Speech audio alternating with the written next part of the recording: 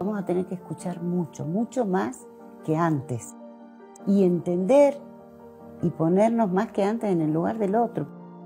Básicamente va a ser una campaña de reencuentro, porque vamos a poder volver a mirarnos a la cara y, y, decirnos de un lado y del otro lo que sentimos, lo que nos pasó, lo que esperamos hacia más adelante, lo que pensamos concretar. Yo creo que eso va a ser lo bueno de esta campaña. Querida Catamarca, Lucía Corpasi, precandidata a senadora nacional, lista 502, celeste y blanca, frente de todos.